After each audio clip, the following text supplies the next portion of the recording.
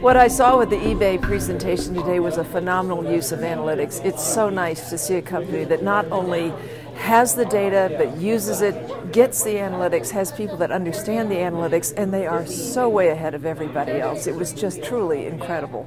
I was, I'm still stunned, and uh, I, it is a sense of awe to see how technology is being deployed by eBay, and I never had realized that eBay was really a technology driven company to this extent. It was absolutely mind blowing, I thought. The whole growth strategy of eBay from the beginning to where they are today, how they got from a very structured environment to a much more analytic environment by using analytics against analytics to grow.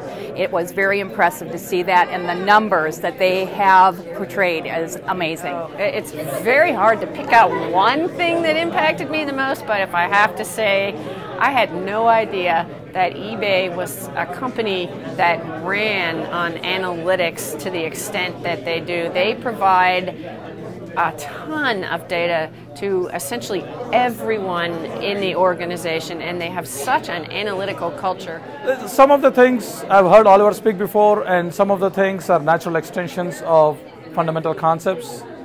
But there's something that really, really kind of blew, blew me off at least is things that they're doing with what they call SQL++. Plus That's something crazy. It's that they're able to achieve the results that they're achieving and the things they're doing. I mean, executing the functions on the fly, creating the views on the fly, and being uh, basically how they're dealing with unstructured data, creating the structures on the fly, and being able to get results out of it all in a matter of seconds. The most fascinating things is that eBay has so much data and so much so much data coming into their system that they can't predict what they're going to look at. So they build for the unknown. They, they allow their customers to search on anything, which is really, really unique in the industry.